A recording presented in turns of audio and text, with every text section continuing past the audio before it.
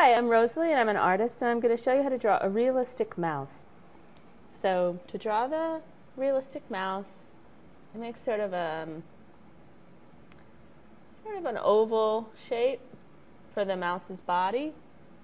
A mouse is just sort of like a little critter and I'm just sort of sketching in like a furry texture because and then I'm putting the ears here just have sort of loops there.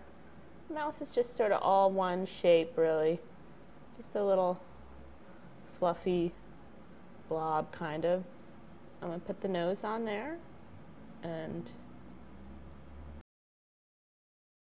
mice have whiskers and put his eye just a black dot and I'm just making the surface fluffy and um, and he has a little four four paw front leg which is just like a hand kind of and then I'm going to put another one there he's sitting up on his haunches this mouse right now and then he's got some fur and then his hind leg sort of comes like that and he's got toes on that. And then there's another one.